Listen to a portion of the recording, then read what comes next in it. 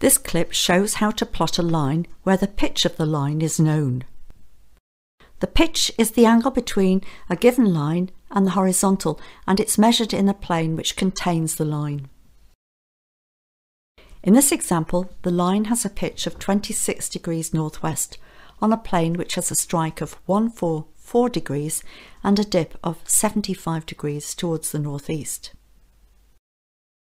Mark the North Pole on the tracing paper. Count 144 degrees around the primitive circle.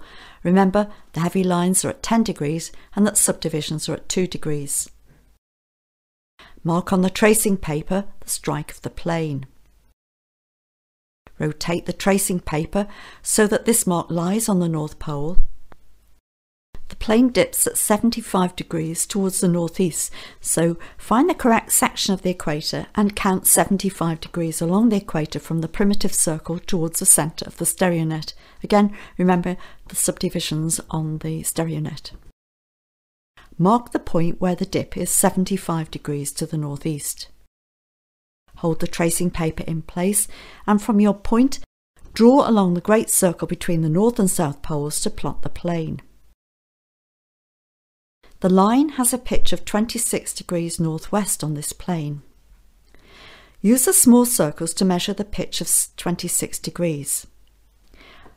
Mark in the point where the line has a pitch of 26 degrees northwest. Rotate the tracing paper so that this marked point lies on the north-south line on the stereonet. Mark the point where this north-south line intersects the primitive circle. From the primitive circle, Count the small circles from the North Pole to your mark. Write this measurement near your mark. Rotate the tracing paper so that the North Pole lies in its original position on the stereonet.